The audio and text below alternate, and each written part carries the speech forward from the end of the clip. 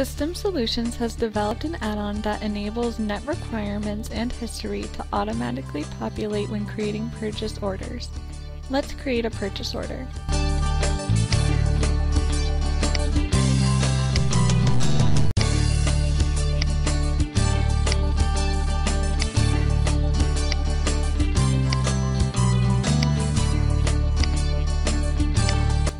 The net requirements are shown here, letting users know how many items to order to keep up with forecasted demand.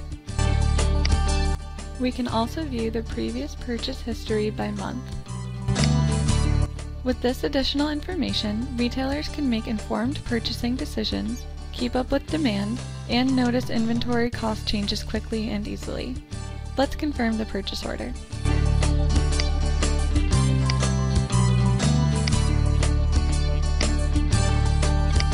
This concludes our video. Thank you for watching.